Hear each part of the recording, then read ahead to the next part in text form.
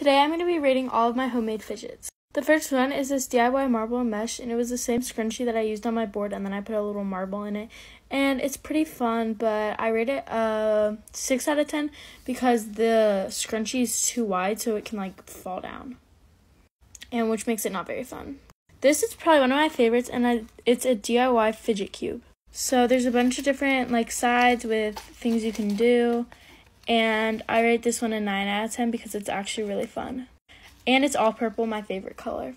The next one is a Corsa fidget board that I made. I rate this a 10 out of 10 because there's so much stuff that you can do. So even if there's some that aren't very good, there's a bunch that are like way better. And yeah, it's just really fun to play with. And there's literally so much stuff to do. This literally keeps me entertained for hours. Next is this DIY Simple Dimple. So the front looks really good, but the back really doesn't and it is actually pretty fun to play with. It just doesn't really make any sounds. So this is really good if you want a quiet dimple. Here's like, yeah, see it doesn't really make any sounds.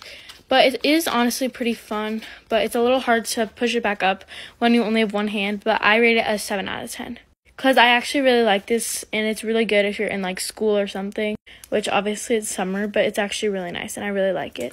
This is my least favorite one. I was trying to make one of those squishies, but I didn't have the right tape for it and I didn't have a very good filler, so it's not very squishy, but I give it a 2 out of 10 because I kind of like the design. But as you can see, it's literally falling apart. That is all for this video. Bye!